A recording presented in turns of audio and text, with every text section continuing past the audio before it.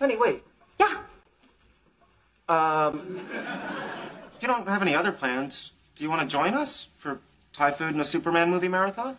A marathon? Wow, how many Superman movies are there? You're kidding, right? You know, I do like the one where Lois Lane falls from the helicopter and Superman swooshes down and catches her. Which one was that? One.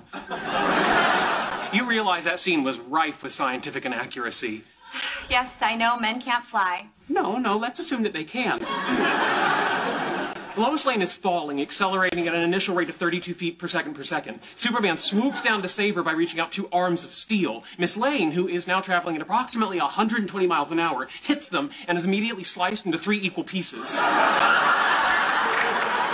Unless Superman matches her speed and decelerates. In what space, sir? In what space? She's two feet above the ground. You know, frankly, if he really loved her, he'd let her hit the pavement. It'd be a more merciful death.